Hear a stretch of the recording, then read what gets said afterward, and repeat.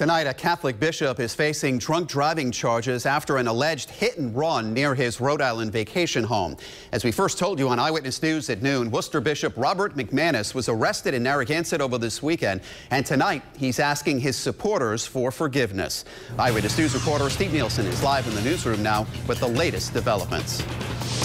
My Catholics in the Bonnet Shores neighborhood were stunned to find out their neighbor, a bishop, was arrested. Roman Catholic Bishop Robert McManus arrested. The Worcester bishop was at his family's Narragansett seaside home when police arrived. They say McManus was driving while intoxicated on Boston Neck Road and allegedly hit a car and took off. Authorities say the driver of that car followed McManus to the Bonnet Shores vacation home. Police came and took the bishop into custody, charging him with driving under the influence and refusing to take a chemical test.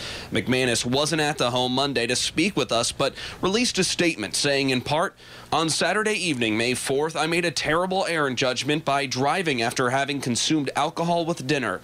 There is no excuse for the mistake I made, only a commitment to make amends and accept the consequences of my action.